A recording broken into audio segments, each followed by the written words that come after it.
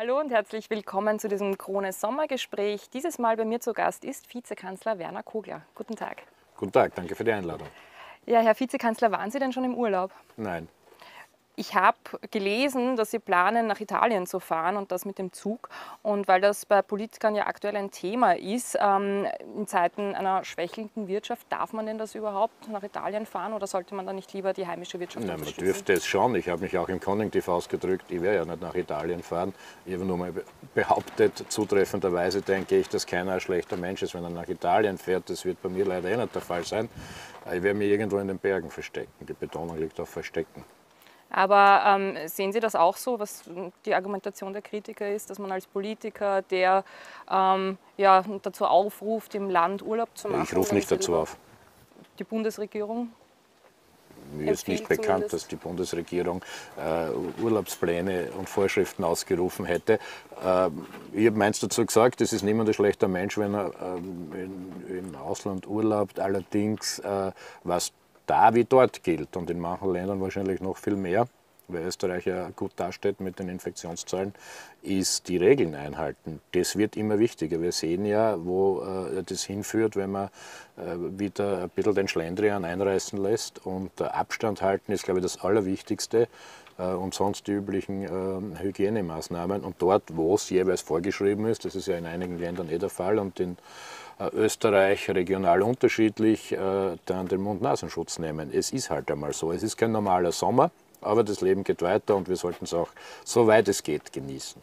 Ihr Einstand in diese Legislaturperiode war ja äh, recht ungewöhnlich durch Corona und auch kein leichter. Wie ist denn Ihr Fazit dieser Corona-Zeit? War das ähm, für Sie äh, leichter, sich zurechtzufinden auch in der Bundesregierung oder wie kann man sich das vorstellen? Also es ist jedenfalls die Verantwortung noch einmal gestiegen. Das waren sicher äh, dramatische Entscheidungstage, manchmal Stunden, äh, wie es selten in der Zweiten Republik der Fall war. Äh, wir haben aber von vornherein gewusst, dass für die Grünen das eine große Aufgabe ist, überhaupt in eine Regierung einzutreten. Noch dazu, wo wir ja äh, quasi mit nichts gestartet waren. Und äh, diese Corona-Krise hat einfach die Herausforderungen und den Verantwortungsbereich erweitert. Das haben wir gerne genommen. Ähm, Politik muss ja vor allem Sinn machen und äh, ich glaube, da hat man sehr Sinnvolles tun und entscheiden können und das wird ja weitergehen. Vor einem Jahr haben Sie in unserem Sommergespräch noch gesagt, dass Sie wie Clint Eastwood in die Stadt einreiten wollen und der Rest sich ergibt. Ähm, das ist Ihnen ja durchaus ganz gut gelungen und sonst ähm, würden Sie heute nicht hier sitzen als Vizekanzler, aber Sie haben die grüne Brille, die Sie damals äh, getragen haben, zu unserem Sommergespräch nicht mehr dabei, sondern sitzen jetzt im Sakko und im Anzug. Ähm, sehr staatsmännisch könnte man sagen. Äh, wie viel Clint Eastwood steckt denn noch in Ihnen? Also erstens habe ich den Clint Eastwood zitiert, weil er ein super Prinzip äh, gehabt hat, das auf die Situation der Grünen hervorragend gepasst hat. Wir haben eben mit ganz wenig versucht, was zu erreichen und da ist immer ein Risiko dabei und äh, deshalb äh, die Aussage oder das Zitat, wir reiten in die Stadt und der Rest ergibt sich. Äh, so war es dann auch und die Erfolge waren ja viel schneller und viel äh, höher, als wir erwartet haben. Das muss man zugeben, auch ohne Koketterie. Das hat aber die Verantwortung umgehend noch gesteigert. Wir sind ja sofort in die Lage gekommen, alleine mit einer anderen Partei, mit der zweiterfolgreichsten oder ersterfolgreichsten, wie Sie zählen wollen, äh, in Regierungsverhandlungen zu kommen. Die beiden Wahlsieger, die großen Wahlsieger, äh, die aber unterschiedlicher fast hätten nicht sein können. Das war die Herausforderung. Und das hat dann weitergegolten. Ja, wir haben ja auch Beschlüsse gefasst, die Regierungsverhandlungen aufzunehmen äh, und dann einen äh, Vertrag abzuschließen. Und jedes Mal hat man nicht gesehen, was hinter der Kurve kommt. Ja. Und haben Ihnen eigentlich der Bundeskanzler und Co. eigentlich schon verziehen, äh, dass Sie sie vor einem Jahr noch Schnöseltruppe genannt haben? Ja, ich denke deshalb, weil ich ja nicht äh, müde wurde, dann zu betonen, weil das immer wieder auftaucht, dass es ja eigentlich die Weitergabe eines Zitats aus ÖVP-Kreisen ist, allerdings äh, aus solchen, die nicht so Freude gehabt haben, dass da ähm, eine sich ähm, zum Erfolg anschickende, äh, relativ junge Truppe auf den Weg macht. Äh, ich hätte sie ja damals übersetzt, dass das irgendwie die Sorge war von den besonders konservativen ÖVP-Lern in in ländlichen Regionen, dass da so ein Vergrasserungsphänomen entstehen könnte. Ähm, und ich habe das dann deshalb genommen, äh, weil äh, der Grasser-Skandal schon so lange zurück ist, dass möglicherweise eine halbe Generation schon nicht mehr folgen kann. Äh, ich glaube, das ist kein Thema. Also das wurde, wurde dann verziehen? Nein, was glauben Sie, was man sonst schon, was man, was man sonst schon in die Vergangenheit zurück alles äh, aufwärmen oder austauschen müsste, da wird es überhaupt keine Regierungen mehr geben auf der Welt. Aber wir kommen zur Gegenwart. Außer Diktaturen, ja, da ist um, alles wurscht. Die Umfragewerte, die sind ja durchaus gut also, und die bescheinigen auch Türkis-Grün sehr gute Zahlen. Und äh, was für eine kleine Umfragesensation gesorgt hat, ist, dass der Gesundheitsminister Rudolf Anschober nach sieben Jahren tatsächlich Sebastian Kurz vom Beliebtheitsthron gestoßen hat. Sind Sie denn stolz auf ihn, weil er ihn eben vom Beliebtheitsthron gestoßen hat oder sind Sie ein bisschen neidig, weil Sie nur Platz drei sind? Ja, ich bin mal angetan und wenn Sie so wollen, stolz, dass, dass äh, mit Rudi Anschober ein Grüner äh, das äh, so gut macht. Ich gebe ja weniger auf Umfragen, das ist ja eigentlich bekannt.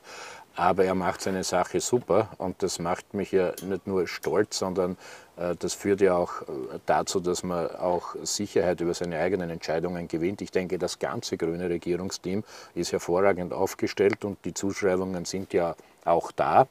Äh, die sind mir fast wichtiger äh, als nur Umfragen und äh, bin in dem Sinn auch auf Alma Sadic und Leonore Gewessler stolz und die neue Staatssekretärin Andrea Mayer macht es auch sehr super.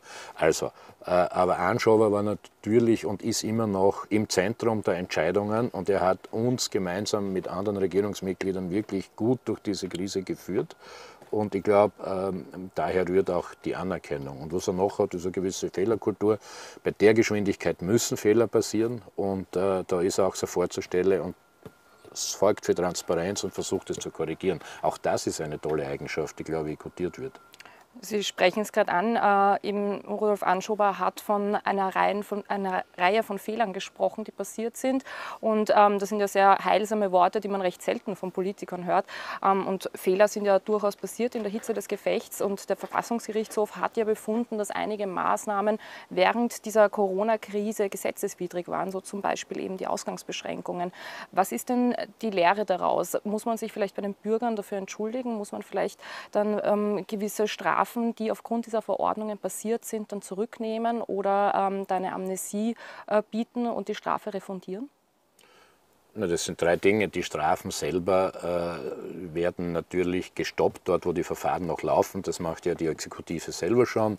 Äh, die äh, andere Frage von Amnestien ist rechtlich ein bisschen schwieriger. Das äh, wird ja im Gesundheitsministerium von den Juristinnen und Juristen geprüft. Und das ist juristisch ein schwieriger Weg, weil wir wollen die bürgerfreundlichste Lösung natürlich. Äh, das ist dort.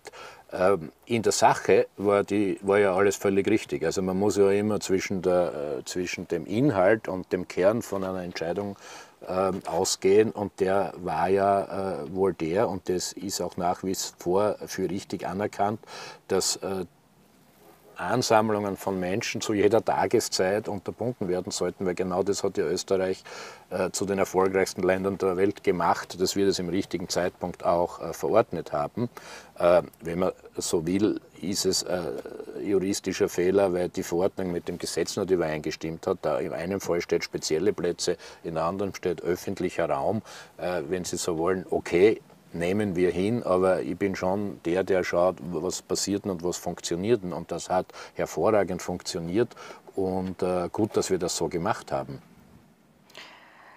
Ein ganz ein anderes Thema. Vergangenen Sommer, wie wir da gesessen sind, hatten wir einen Hitzesommer und das beherrschende Thema im Wahlkampf war ja durchaus auch der Klimaschutz.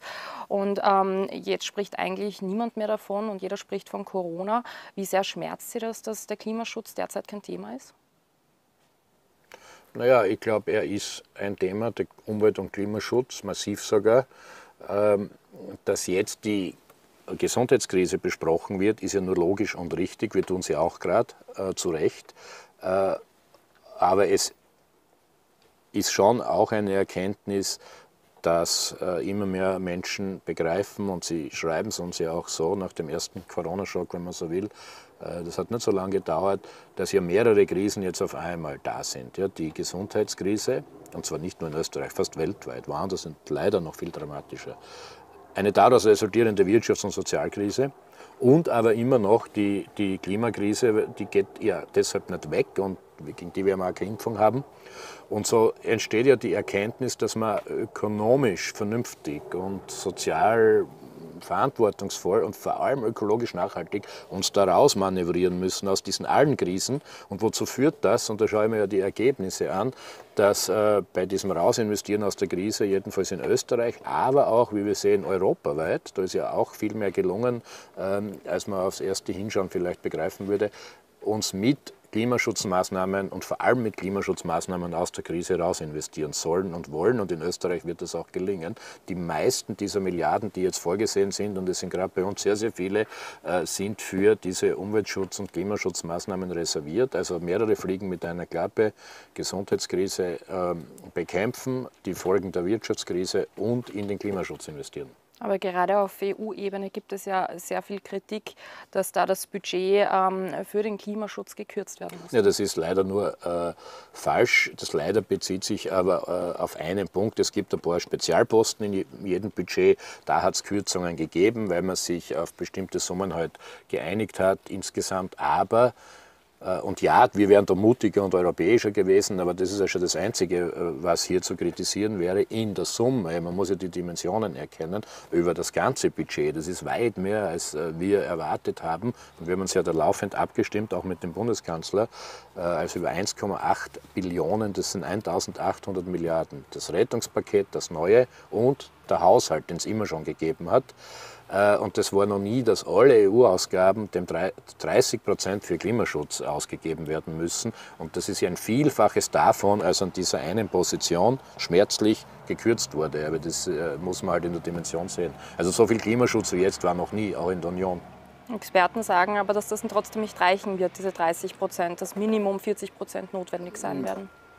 Diese Experten kenne ich nicht. Ich bin froh, wenn wir die 30 Prozent auf die Piste kriegen. Wir werden viele europäische Länder haben, die noch gar nicht so schnell so viele Programme hier äh, bei der Hand haben und die wir dabei unterstützen müssen. Man muss das auch prüfen. Auch da stimme ich mit dem Kanzler überein, dass das nicht für irgendwas ausgegeben wird, sondern eben zweckgebunden.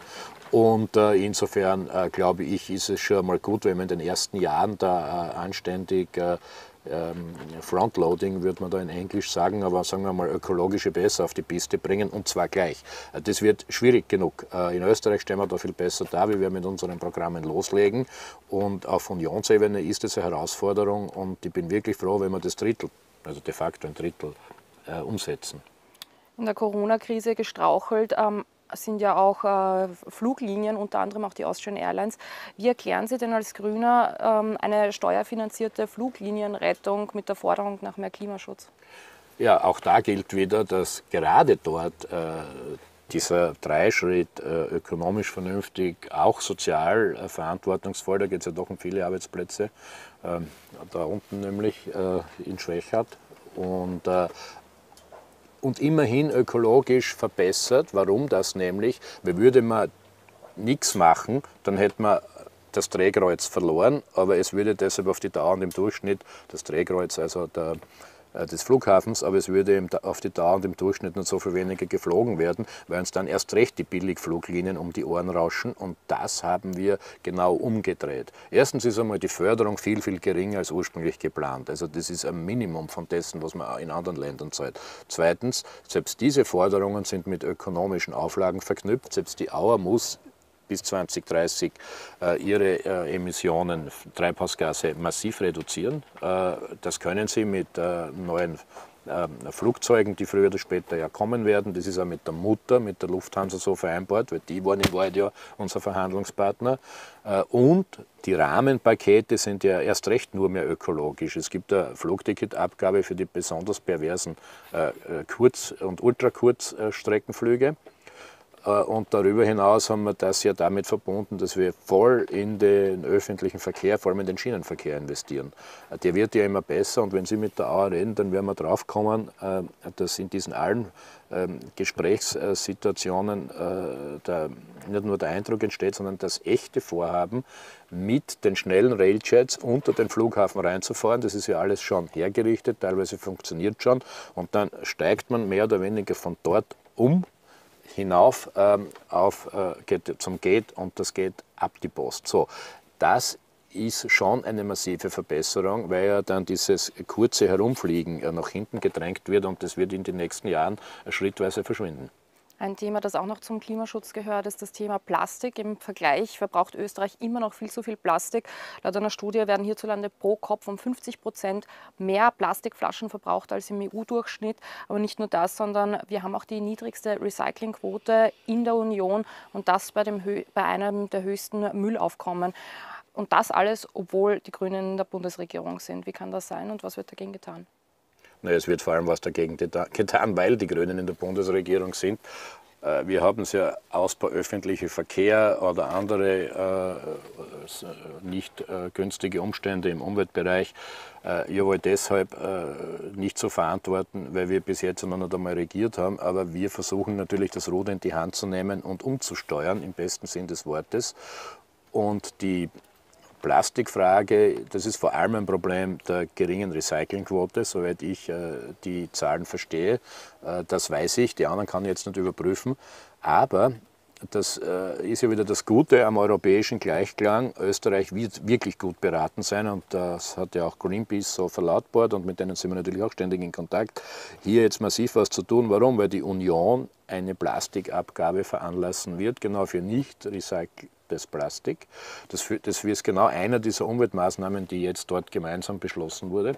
Und das wird dazu führen, dass der Anreiz steigt, dass viel mehr äh, Plastik, wenn es schon da ist, äh, wiederverwertet werden muss auf die eine oder auf die andere Art.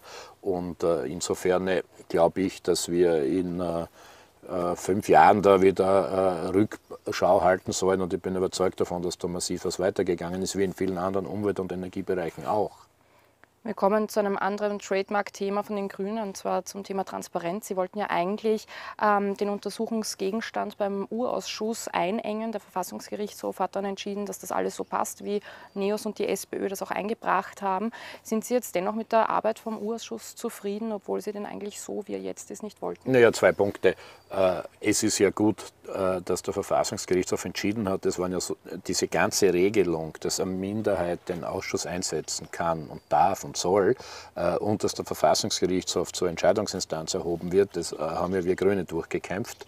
Da war ja selber noch lang genug dabei, war nicht einfach, super Sache. Deshalb alles Recht dort. Trotzdem hat es Auffassungsunterschiede gegeben, Sie haben es angesprochen. Meine Sorge war, und das löst sich ja teilweise jetzt ein, muss man aber zur Kenntnis nehmen, dass, es wie, dass wir es da mit einem Kraut- und Rübenausschuss zu tun haben, weil alles total in die Breite geht und sozusagen, ich traue mir da schon ein Urteil zu, äh, gerade im Sinn der Aufklärung es vernünftiger gewesen wäre, äh, in an so einem Bereich vielleicht mehr in die Tiefe zu gehen. Jetzt müsste ich da unter den Tisch greifen. Ähm, und das wäre eben zum Beispiel der Glücksspielbereich gewesen. Das hätte nur zur Konsequenz gehabt, dass wir da Jahre zurückschauen hätten müssen. Man kann die Glücksspielskandale, die Novomatic-Skandale nicht erklären, äh, indem ich sage, in Ibiza ist ein Video entstanden und ich schaue nur von dort weg äh, nach 2020 herauf. Das verstehst du nur, wenn du zehn Jahre mindestens zurückgreifst. Das hätte nur die blöde Konsequenz, dass er die SPÖ gefragt hätte werden müssen, wie habt ihr zugelassen, dass ein Novomatic-Konzern sich einkauft in die österreichische Casinos AG. Ich finde ja das bis heute völlig unverständlich, um nicht ärgere Worte zu gebrauchen. Äh, und wir haben schon seit 2006 festgestellt, wie hier in die, da waren wir noch in Opposition, wie hier immer wieder versucht wurde, in die Gesetzeswertung und in die Regierung reinzugreifen.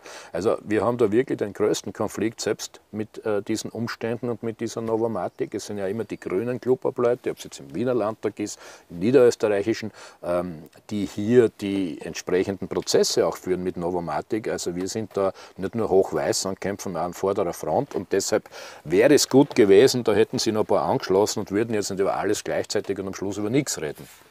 Sie haben gesagt, Sie kämpfen an vorderster Front, aber wie sehr können die Grünen tatsächlich bei der Aufklärung von möglichen Intransparenzen, von Postenvergaben mithelfen, wenn es denn um Ihren Koalitionspartner auch zu einem Teil, den Türkisen, geht? Naja, da sind wir schon der Aufklärung verpflichtet. Das äh, ist ja auch äh, untereinander so bekannt. Äh, wir besprechen das ja äh, insofern, als wir schon darüber reden, was wollen wir in Zukunft besser machen. Äh, da haben wir jetzt ein offenes Ohr. Und das macht ja genau den Unterschied, weil das äh, immer gefragt wurde oder auch bei uns einem Jahr im Wahlkampf, wie könnte das sein, wenn sich das alles ausgeht. Na, das macht eben einen riesen Unterschied, ob mit der ÖVP äh, äh, die Blauen regieren, die erstens den Klimawandel immer geleugnet haben, zweitens äh, äh sowieso äh, notorisch in die Kasse greifen äh, oder ob die Grünen regieren, nämlich mit ihren umweltpolitischen Ambitionen oder eben auch mit ihrem, glaube ich, unbändigen Drang und Kampf für mehr Transparenz. Das wird gelingen und wir werden, im, wir werden das heuer fertig machen und im nächsten Jahr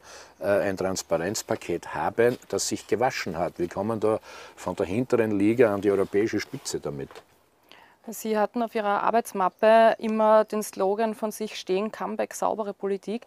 Ist denn die Politik durch die Grünen in der Bundesregierung sauberer geworden? Ja, auch wir müssen das erst beweisen. Äh, äh, ich nehme äh, das gerne so. Ähm, ich bin überzeugt davon, dass das gelingt und gemessen mit allen anderen Alternativen wird der Slogan saubere Umwelt, saubere Politik mit Sicherheit am stärksten eingelöst. Argumente wie vorher ich glaube, dass gerade auch die jungen Abgeordneten äh, im U-Ausschuss jetzt äh, Nina Tomaselli, David Stöckmüller einen überraschend klaren, direkten und guten Beitrag leisten, auch zur Aufklärung. Aber wir arbeiten natürlich daran, genauso äh, wie in auch anderen Ausschüssen, hier schon äh, in diese Untersuchungsberichte die Verbesserungsvorschläge einzubringen. Ich glaube, es wird Österreich sich an dieser Stelle wirklich verändern in den nächsten Jahren. Wir waren nicht gut, aber jetzt wird es gut. Eine urösterreichische Tradition ist ja tatsächlich das Postenschachern und dass eben dann groß umgefärbt wird, wenn es eine neue Bundesregierung gibt oder jemanden neuen gibt in der Bundesregierung.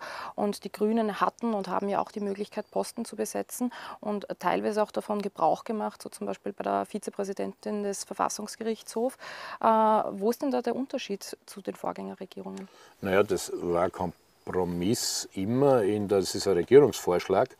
Und äh, also dort ist die Personalentscheidung, glaube ich, super äh, gut gelaufen und vertretbar, äh, weil wir äh, eine hochkompetente äh, Frau gewonnen haben, die eben auch Vize, nicht nur Verfassungsrichterin, sondern auch Vizepräsidentin geworden äh, ist. Und generell möchte ich sagen, dass uns hier manchmal vorgehalten wird, wir würden machtpolitisch äh, zu wenig auf die Waagschale legen oder, wie man so sagt, auf Wienerisch andrucken. Äh, ich will das gar nicht weiter qualifizieren, aber tatsächlich haben wir Postenbesetzungen äh, bei mir im Haus an der Spitze des Ressorts, wo ähm, auch eine, eine junge, engagierte Frau Generalsekretärin wurde, die aus der, äh, jetzt im guten Sinne der Verwaltung kommt. Ich habe sie nicht gefragt nach einem Parteibuch, äh, ob sie überhaupt eins hat. Und siehe da, sie hat eins, aber kein grünes. Und das machen wir öfter so. Äh, wenn einmal jemand dabei ist, der gewisse Gründe hat, wird es auch gut sein, weil eins, aber das habe ich früher schon immer gesagt, eins muss natürlich schon klar sein. Äh, wenn wir öffentliches Eigentum haben, wenn wir in der Verwaltung Spitzenpositionen besetzen wollen, dann müssen die natürlich in der Sache mit der Regierungslinie übereinstimmen, äh, weil alles andere geht ja nicht. Wir können nicht die ÖBB besetzen mit Leuten, die auf Autobahnen setzen. Ja, die die gibt es ja, die sind ja nicht noch ganz weg. Ja? Die gehören meistens zu anderen Parteien und die Wahrscheinlichkeit, dass, ähm, dass wir in einem ökologischen Umfeld natürlich für eine neue Verkehrspolitik, die unbedingt notwendig ist, auch da wieder europaweit führend, äh, in, äh, eben genau dort finden, das ist ja naheliegend. Und genauso werden wir das auch machen. Ähm, äh, insofern, glaube ich, muss man differenzieren zwischen dem, was ist einfach eine Habererwirtschaft oder Freundelwirtschaft äh, und was ist eine Besetzung, wo zweierlei zusammenkommen muss oder dreierlei. Die Richtung muss stimmen, jetzt aber nicht unbedingt parteipolitisch, sondern wo man die Republik hin navigieren will, der darf ja nicht einen anderen Kompass einbaut haben. Da kommst du ja nirgendwo hin mit dem Schiff. Und wir wollen dieses Schiff steuern. Und das, das, das nächste ist die Kompetenz oder das erste ist ja egal äh, und ein entsprechendes Engagement. Also, das sind die drei Zutaten, denke ich. Das ist jetzt ein ganz ein harter Schnitt, aber wir sind schon am Schluss. Ähm, und zum Schluss noch eine ganz persönliche Frage. In unserem letzten Interview sagten Sie, dass Sie gern 10 äh, Prozent Ihres Körpergewichts abnehmen wollen und wir Sie als Kronenzeitung äh, dabei begleiten dürfen. Wie schaut es denn aus? Ja, das äh, Angebot kann ich erneuern. Ich kann eine Zwischenbilanz abgeben. ich habe ja sozusagen in alter oststeirischer Tradition dann damit begonnen, zu Beginn der Fastenzeit. Ähm, das ist ja auch ganz gut losgegangen. Äh, allerdings ist dann äh, die Corona-Krise dazugekommen und bei mir wieder drei Kilo rauf, die drei runter gegangen sind. Jetzt gibt es aber ein neues Datum ausgerufen, weil das war jetzt eine denkbar schlechte Zeit, äh, mit Mitte August, also sagen wir den 15. Und bei mir wären jetzt die 10 Prozent 9 Kilo. Also das kann man auch noch transparent machen also rund 9 Kilo. Also wenn wir von 93 dann auf 84 kommen würden, äh, dann haben Sie jetzt zumindest äh, die Rechnung präsentiert bekommen und Sie können mir dann die Rechnung präsentieren, wenn es nicht gelungen ist. Also es geht da echt um einen, einen Neustart, aber äh, ich muss diese Corona Kilos abziehen oder wieder wegbringen und neu starten, weil sonst geht sich das nicht aus. Ich bitte schon um Verständnis. Wie wir alle. Vielen Dank, Herr Vizekanzler. Danke auch.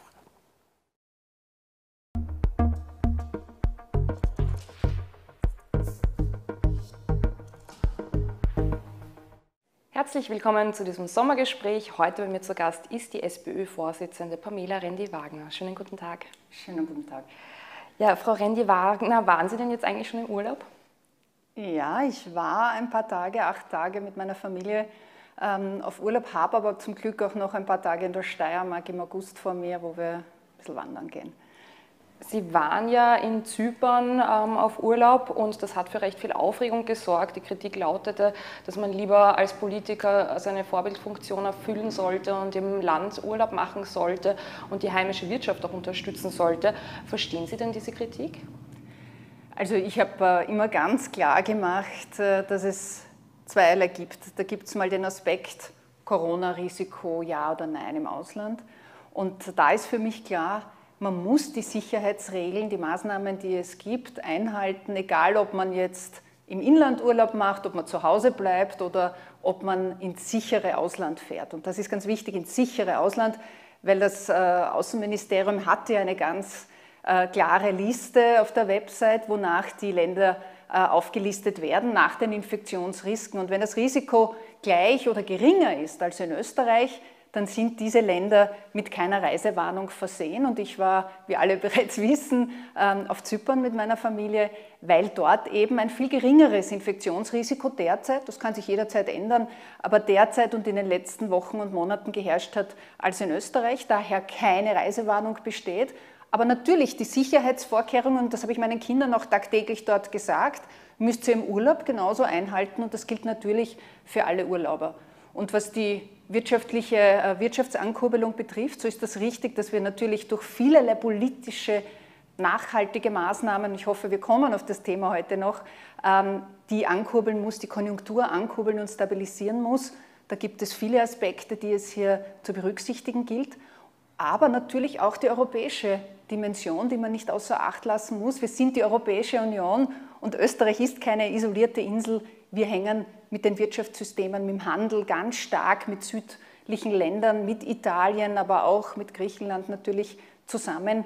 Und daher gilt es natürlich auch europäisch zu denken was man tun muss jetzt nach der Krise, dazu kommen wir dann noch. Aber wir bleiben vorerst in Österreich und bei der aktuellen Krise. Sie waren ja eine der ersten, die auch die Wiedereinführung der Maskenpflicht in Österreich in den Supermärkten gefordert hat. Und das wurde dann tatsächlich auch von der Bundesregierung so umgesetzt, wie Sie das auch gefordert haben. Aber können Sie uns noch mal erklären, warum braucht es denn wieder die Maske in den Supermärkten, wenn jetzt kein Fall bekannt ist, also kein Ansteckungsfall im Supermarkt bekannt ist, geschweige denn ein Cluster? Also erstens äh, haben wir eine Entwicklung. Wir sehen in den letzten Wochen eine eindeutige Zunahme an Corona-Fällen in Österreich. Wir sind jetzt im dreistelligen Bereich, Zuwächse dreistellig über 100 pro Tag.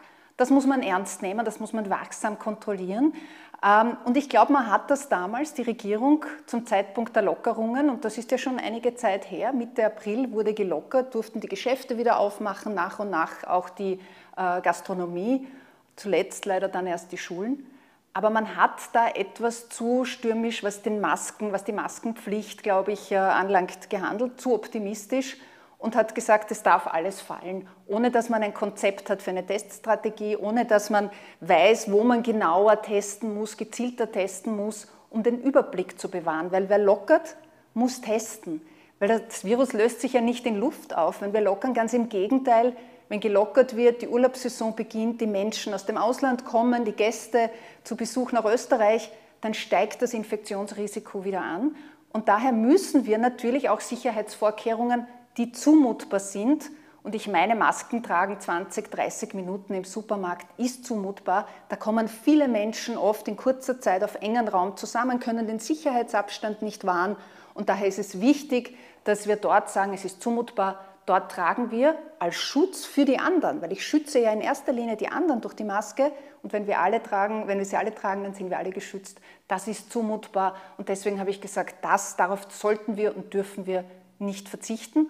Und was Sie meinen, das stimmt eben nicht, dass der Supermarkt hier nicht nachgewiesen ist, weil das ist nicht dokumentierbar, weil niemand registriert sich im Supermarkt und sagt, ich gehe von 13.40 Uhr äh, bis 14.30 Uhr in den Supermarkt, hier ist mein Name, meine Adresse. Man weiß ja nicht, wer wann in der U-Bahn fährt, wie lange im Supermarkt ist. Deswegen sind diese Cluster, auch wenn sie auf einen Supermarkt zurückzuführen wären, nicht nachweisbar. Aber natürlich ist ganz klar, und das sagen alle Experten, da wo viele Menschen unkontrolliert und vor allem im geschlossenen Raum zusammenkommen, besteht ein erhöhtes Infektionsrisiko. Haben Sie eigentlich auch die äh, Stop Corona-App installiert? Nein, habe ich nicht. Habe ich nicht, weil wir gesagt haben, ganz klar, und dieser Meinung bin ich nach wie vor, dass sie freiwillig sein muss. Es darf keine verpflichtende persönliche Nachverfolgung der Menschen gegeben sein und man ist ja damit nachverfolgbar. Jeder, jeder Schritt, äh, jede Bewegung, die man macht, ist in der App gespeichert und darüber hinaus wahrscheinlich in einer Cloud und wir wissen nicht genau, wo das dann noch abgespeichert ist. Und mir ist wichtig, dass diese Freiwilligkeit auch gesetzlich verankert ist. Reine Worte, die die Regierung sagt, ja, wir sind ja auch dafür, dass sie freiwillig ist, sind eines, aber ich möchte das gesetzlich verankert haben und weder der Gesundheitsminister noch der Bundeskanzler noch die Justizministerin sind diesem, äh, dieser Forderung von uns im Parlament derzeit nachgekommen. Stichwort Freiwilligkeit. Sie sind ja auch Impfspezialistin ähm, vom Beruf her, also vom Brotberuf her, eigentlichen Beruf her. Äh, was halten Sie denn eigentlich von einer Impfpflicht? Für welche Impfung konkret? Sollte es einmal eine Corona-Impfung geben? Also ich glaube, da müssen wir wirklich erst abwarten, wie schaut diese Impfung dann am Ende wirklich aus. Für welche Zielgruppe ist es für die Älteren, ist es für die Kinder, ist es für die unter 60-Jährigen, für die über 60-Jährigen dann überhaupt einsetzbar? Wie wirkt diese Impfung? Wie groß ist die Wirksamkeit und wie hoch sind die Nebenwirkungen, die zu erwarten sind?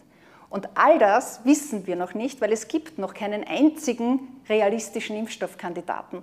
Und da werden, werden noch einige Monate vergehen, mein Tipp ist, vor nächstem Jahr wird es da keinen Kandidaten und keinen Impfstoff geben, der jetzt in der breiten Masse auch verimpft werden kann, weil eines ist klar, so eine Impfung muss wirksam sein und sie muss natürlich sicher sein. Wir können hier keinen unsicheren Impfstoff anwenden und dann kann man sich überlegen, wie man vorgeht. Aber ich denke, auch hier muss man mal gezielt mit Überzeugungskraft arbeiten. Und ich glaube, die Leute haben ein großes Verständnis, dass wir uns gegen Corona gut schützen müssen. Und wenn das ein sicherer Impfstoff ist, dann bin ich überzeugt, dass sich sehr viele freiwillig impfen lassen. Wir kommen auch schon äh, zu den Maßnahmen, äh, die man äh, nach der Corona-Krise treffen kann oder was Sie auch fordern. Das ist unter anderem eine Arbeitszeitverkürzung auf 30 Stunden pro Woche, die Vier-Tage-Woche fordern Sie ganz aktuell und äh, Sie machen sich für einen bundesweiten Mindestlohn von 1700 Euro stark. Ist das angesichts der 500.000 Arbeitslosen, die es aktuell in diesem Land gibt und einer krachenden Wirtschaft nicht auch ein wenig eine Themenverfehlung, solche Sachen zu fordern? Na, ganz im Gegenteil. Was es jetzt braucht, ist ein starkes Maßnahmenbündel. Es braucht eine geeinte Kraftanstrengung, um gemeinsam gut aus dieser Wirtschafts- und Sozialkrise, und es ist die größte seit 1945, seit dem Zweiten Weltkrieg, rauszukommen. Eine Einzelmaßnahme wird es nicht sein und viele kleine, ungezielte, planlose Maßnahmen, ein Fleckerlteppich an Planlosigkeit, wird uns auch nicht gut aus der Krise führen. Und deswegen habe ich im Juni ein Kraftpaket auf den Tisch gelegt, wo wir ganz gezielt im Mittelpunkt eines stellen – die Sicherung der noch bestehenden Arbeitskräfte und die Schaffung neuer äh, Arbeitsplätze. Arbeitsplatzsicherung muss unser oberstes gemeinsames Ziel sein. Und da braucht es vor allem kluge Investitionen in die Wirtschaft. Wir dürfen die Unternehmerinnen und Unternehmer in dieser Krise nicht allein lassen. Die Regierung macht viele PKs, Ankündigungen, jongliert mit Milliarden in Interviews, aber diese Milliarden kommen dort, wo sie benötigt werden, offenbar nicht genügend an. Viele gehen pleite und damit entsteht natürlich eine Arbeitslosigkeit, die im Herbst neuerlich droht, wieder hinaufzugehen. Das heißt kluge Investitionen. Und zweitens natürlich müssen wir uns auch Gedanken machen, wie die wenige Arbeit, die jetzt noch vorhanden ist, gerecht verteilt wird. Und wir haben jetzt das Modell der Kurzarbeit. Das ist ein Krisenmodell, das aber nur für einige Monate anwendbar ist. Und die Wirtschaftsexperten sagen, die Wirtschaftskrise wird morgen nicht zu Ende sein. Das wird noch ein, zwei, vielleicht drei Jahre dauern, bis die Wirtschaft wirklich anspringt. Und da braucht es in der Zwischenzeit ein kluges, modernes, weiterentwickeltes Modell der jetzigen Kurzarbeit. Und das ist die Vier-Tage-Woche, die ich vorgeschlagen habe. Die ist eine Unterstützung für die Unternehmer, weil es sie dabei unterstützt, ihre gut ausgebildeten, guten Arbeitskräfte, Beschäftigten zu halten obwohl sie wenig Aufträge haben und eigentlich weniger Umsätze machen. Und hätten sie die Unterstützung nicht durch diese Vier-Tage-Woche, müssten sie diese entlassen. Es ist aber auch natürlich ein Vorteil für die Arbeitnehmer und Arbeitnehmerinnen, weil sie ihren Job behalten und gleichzeitig durch die Vier-Tage-Woche einen Tag mehr Freizeit haben, einen Tag mehr für Familie, für Gesundheit, Erholung und äh, nur mit 5% weniger Gehalt. 20% mehr Freizeit, also in dem Fall der, der Arbeitszeit, die wegfällt und 5% mehr Gehalt. Und für die Gesellschaft wichtig, weil es Arbeitsplätze sichert und neue schafft, weil es gibt nichts Teureres als Arbeitslosigkeit. Menschlich gesehen, weil es menschliches Leid bedeutet und natürlich auch wirtschaftlich. Aber so ganz verstanden habe ich es jetzt noch nicht. Die Wirtschaftsleistung brach im ersten äh, Quartal um fast 13 Prozent ein. Wie soll das denn alles finanzierbar sein, wenn man dann äh, Unternehmen dann auch noch zum Beispiel eine Arbeitszeitverkürzung oder einen Mindestlohn von 1700 Euro aufbürdet? Nein, wir brauchen eine Arbeit für alle. Wir sehen, dass jetzt allein in den ersten Wochen der Corona-Krise 200.000 Menschen ihren Arbeitsplatz verloren haben weil die Unternehmen verunsichert waren und weil Unternehmen nicht genügend Unterstützung durch Direkthilfen und schnell genug von der Bundesregierung, vom Finanzminister, von der Wirtschaftskammer bekommen haben. Da wurde wirklich gute, wertvolle Zeit liegen gelassen. Viele Unternehmen sind pleite gegangen, standen vor dem Nichts. 200.000 Arbeitsplätze. Und wenn wir jetzt wissen, dass die Arbeitslosigkeit oder die Wirtschaft nicht so schnell anspringt, wie wir es uns erhoffen, das heißt, die werden weiter weniger Umsätze machen. Gäste werden weiter weniger in die Lokale gehen, weil sie Angst vor Corona haben. All diese Dinge sind zu berücksichtigen. Und wenn das ähm, der Fall ist, dann muss ich ja eines dafür tun. Ich muss die Unternehmen dabei unterstützen, durch Direktzuschüsse durch Geld, aber auch, dass sie ihre Beschäftigten halten können. Die wollen ihre Beschäftigten ja nicht entlassen, um zu überleben. Und das kann ich, indem ich ihnen sage, okay, ein Tag weniger Arbeitszeit und du musst dafür auch weniger Lohn zahlen und die Studien zeigen eins, und das ist sehr interessant, wenn die Leute 20 Prozent weniger arbeiten, ist gleich ein Tag, ergibt sich aus dem, restlichen, aus dem restlichen Teil der Arbeitszeit eine Produktivitätssteigerung. Das heißt, in der restlichen Arbeitszeit arbeiten die Leute produktiver, besser, effizienter, weil sie motivierter sind, weil sie erholter sind, weil sie gesünder sind. Und das ist ganz wichtig für ein wirtschaftliches Unternehmen.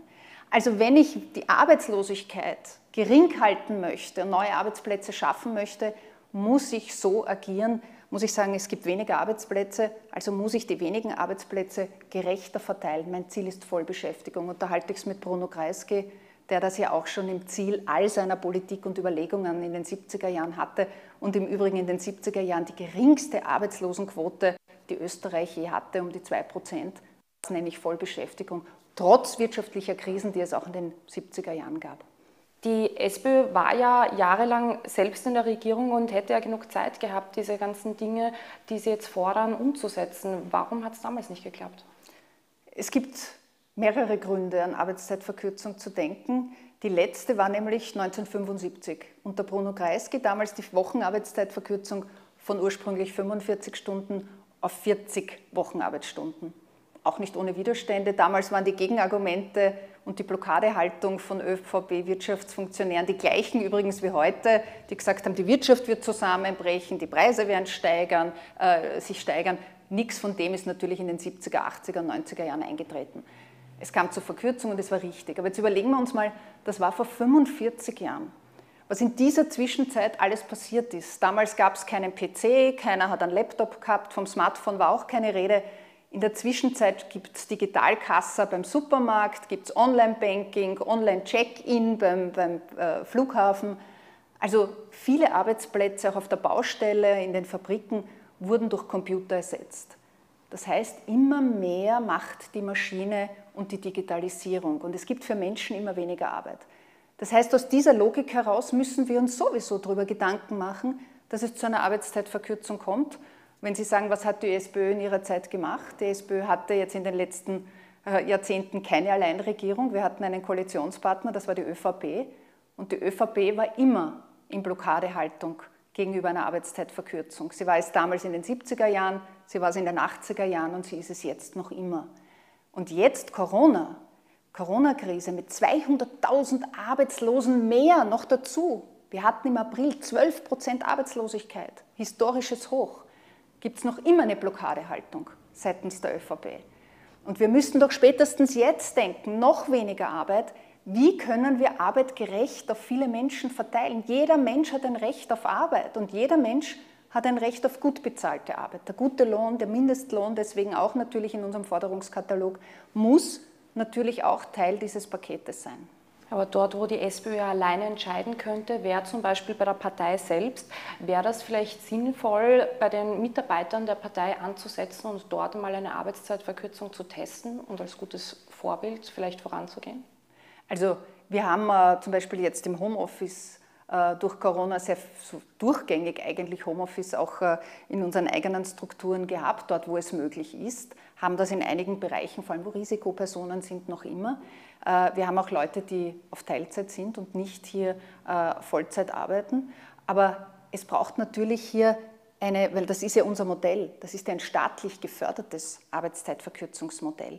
Es ist ein freiwilliges, das nicht für alle Branchen jetzt gleich, von der Industrie, von der Föst, wenn Sie so wollen, bis zum Schuhhändler passt. Das muss dort eingesetzt werden, wo es für die Branche wirklich einen Sinn macht. Und es gibt im Übrigen schon jetzt österreichische Unternehmen, die freiwillig auf diese Arbeitszeitverkürzung, auf die Vier-Tage-Wochen setzen und übrigens mit guten guten Erfolg. Fragen Sie diese Unternehmer, die berichten das nur positiv, fragen Sie die Beschäftigten dort, die berichten das auch positiv.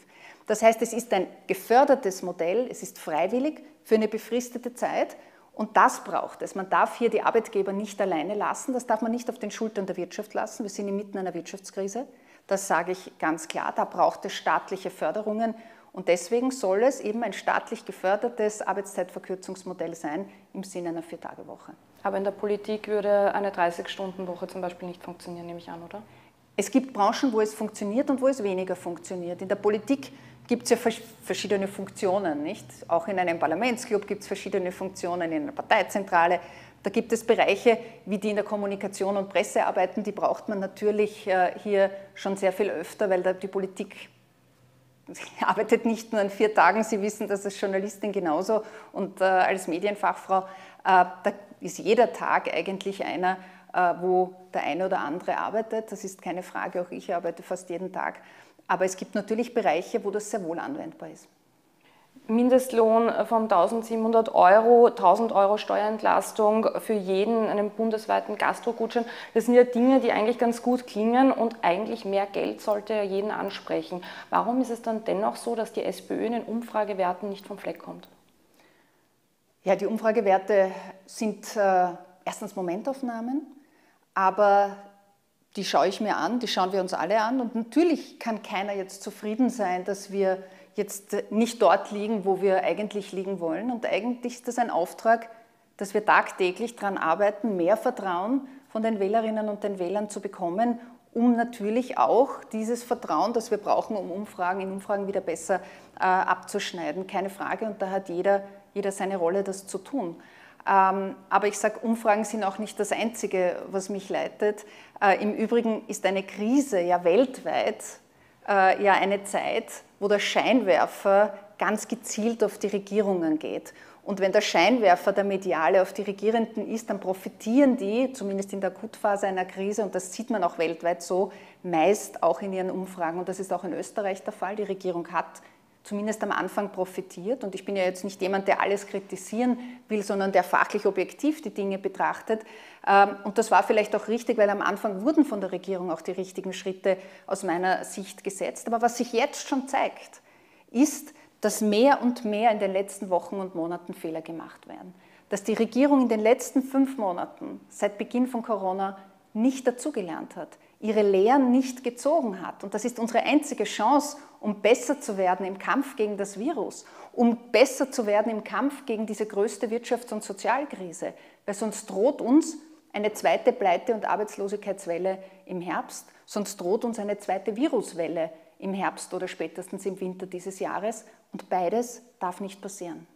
Ein ganz ein anderes Thema, der Name ist schon gefallen. Bruno Kreisky hatte vor einer Woche seinen 30. Todestag und unter ihm wurde die SPÖ zur stärksten Partei des Landes. Was hat er denn anders gemacht als Sie? Was hat er mit Ihnen gemeinsam? Mit mir als Person? Ja. Ähm, interessant, weil ich habe äh, anlässlich seines 30. Todestages auch mit seinem Wegbegleiter Heinz Fischer mich lange unterhalten, habe auch im Vorfeld lange mit ihm dazu schon telefoniert. Er war Klubobmann, Heinz Fischer war Klubobmann damals für Bruno Kreisky und kennt ihn eben sehr lange. Und er hat vor allem eines gesagt, und das ist übrigens mein Bild von Bruno Kreisky, er war ein sehr mutiger Politiker, der sich kein Blatt vor den Mund genommen hat, viel Mut an den Tag gelegt, er war ein Stimmungsmacher. Der hat Stimmungen gemacht und Meinungen kreiert. Er hat sich nicht wie einige populistische Politiker in der Jetztzeit auf Stimmungen draufgesetzt, weil sie sich erhoffen, dass das ihren Umfragewerten nützt, sondern er hat aus Überzeugung Politik gemacht. Er hat die Arbeitszeitverkürzung trotz aller Widerstände zum Beispiel durchgebracht und ihm war Vollbeschäftigung ein Zentral, das zentralste Ziel, der Freibildungszugang, Gleichberechtigung. Das ist nicht selbstverständlich. Aber die Zeit, die politischen Rahmenbedingungen sind natürlich nicht vergleichbar. Ich meine, damals gab es äh, zwei, drei politische Parteien, heute gibt es fünf im Parlament. Aus dem Parlament gibt es dann noch viel mehr Parteien. Es ist eine viel breitere Parteienlandschaft. Demokratiepolitisch ist das gut. Ich glaube, das ist gut, dass das die Breite der Gesellschaft abgebildet ist. Ähm, und die Wählerinnen und Wähler sind auch ein bisschen anders in ihrem Verhalten in den 40 Jahren geworden. Es gibt diese Traditionswähler, ja, die ein Leben lang die ÖVP wählen oder ein Leben lang die SPÖ wählen. Die gibt es ganz wenig nur mehr. Die, die Wählerinnen und Wähler wechseln oft, sind viel flexibler von Wahl zu Wahl äh, und gehen viel mehr nach Inhalten und Themen. Und da sind wir gefragt, als politische Parteien eben auf Inhalte zu setzen. Und genau das tue ich jeden Tag. Wir müssen die inhaltliche Schlagzahl hochhalten. Und im Übrigen, was ich mit Bruno Kreisky gemeinsam habe, sein zentrales Thema, die Vollbeschäftigung, steht jetzt ganz klar im Mittelpunkt all meiner äh, politischen Maßnahmen, die ich äh, jetzt als Weg aus der Krise Sätze, das ist Arbeitsmarkt, Beschäftigung stärken, Arbeitsplätze sichern, Gesundheit. Gesundheit schützen ist natürlich in einer Gesundheitskrise ein ganz wesentliches Thema. Und ein drittes Thema, das wir heute noch nicht besprochen haben, Verteilungsgerechtigkeit, ist natürlich mehr denn je aktuell, war auch für Bruno Kreisky ein wichtiges Thema. Wer zahlt die Kosten dieser Riesenkrise? Es kann nicht sein, dass das die die jetzt schon die höchste Steuerverantwortung tragen, die Systemerhalter, die Applaus bekommen haben, dann auch durch Steuererhöhungen zur Kasse gebeten werden. Da sage ich, es braucht mehr Steuerverantwortung bei den Millionären dieses Landes und bei den Online-Konzernen, den großen. Sie haben es zu Beginn gesagt, Ihre Antwort. Bruno Kreisky war ja eine sehr ähm, hat eine sehr ausgeprägte Persönlichkeit und war nicht auf den Mund gefallen und hat auch oftmals gekrantelt und gesagt, ähm, was ihm gerade durch den, durch den Kopf geht. Heute hat man das Gefühl, dass Politiker allglatt und perfekt sein müssen und ähm, mehr durchgecoacht sind. Glauben Sie, dass es da wieder ein Comeback gibt zu ähm, dem krantelnden Politiker? Oh, das ist eine gute Frage. Da kann man äh, drüber nachdenken. Aber ich glaube auch, dass Bruno Kreisky in der heutigen Zeit natürlich äh, anderes, anders Interviews geben würde, als er es damals gemacht hat, weil die Journalisten damals und die Medienwelt natürlich auch eine etwas andere wäre. Aber natürlich gibt es immer Trends in der Politik, äh, keine Frage. Und äh, ich glaube, das Wichtigste, und das hat er so stark verkörpert, ist Glaubwürdigkeit. Und an dieser Glaubwürdigkeit, an der müssen wir uns orientieren. Und wenn es eine glaubwürdige politische Kraft in diesem Land gibt, die für soziale Gerechtigkeit stehen, die für Gleichberechtigung, für Verteilungsgerechtigkeit, fairen Bildungszugang stehen, dann ist es die Sozialdemokratie. Und das war unter Bruno Kreisky so in den 70er Jahren. Und das ist jetzt in dieser Krisenbewältigungszeit natürlich auch wieder die SPÖ. Zum Abschluss noch eine ganz andere Frage. Sie haben sich selbst äh, durchgekämpft in der Politik und Sie sind die erste Frau an der Spitze der SPÖ. Was würden Sie denn sagen, wenn eine Ihrer beiden Töchter irgendwann einmal zu Ihnen kommt und sagt, Mama, ich möchte in die Politik gehen? Also ich glaube, prinzipiell sollte man den äh, Kindern egal ob es Töchter oder Söhne sind, äh, keine Steine in den Weg legen. Und ich glaube, wenn man es versucht zu beeinflussen, ist man eh schon gescheitert. Es ist eh sinnlos, weil dann machen sie es erst recht. Ähm, aber warum nicht? Ja, sicher. Also ich glaube, äh, Mädchen, Frauen können alles. Sie können natürlich auch äh, Politik und Politikerinnen sein. Ähm, und es braucht mehr mutige Frauen in der Politik. Und was ist, wenn Sie zur FPÖ gehen wollen würden? ja, also ich glaube, dann äh, denke ich, vielleicht habe ich ein bisschen was falsch gemacht, in, äh, äh, auch in, meiner politischen, in meinen politischen Reden mit Ihnen. Also ich rede sehr viel halt natürlich in einer Kindersprache, in einer angepassten Sprache mit Ihnen über Gerechtigkeit, über ähm, Gleichberechtigung, über Arbeitsplätze, das ist ja für Sie noch weit weg und ich erkläre Ihnen, versuche Ihnen trotzdem diese Dinge zu erklären. Also ich glaube, äh, das wird nicht passieren. Frau Rendi-Wagner, äh, noch einen schönen Urlaub. Ich glaube, nächste Woche geht es los, auch mit den Töchtern und liebe Grüße zu Hause. Danke fürs Interview. Dankeschön. Danke auch an Sie, dass Sie mit dabei waren. Wir sehen uns nächste Woche zu den nächsten Sommergesprächen.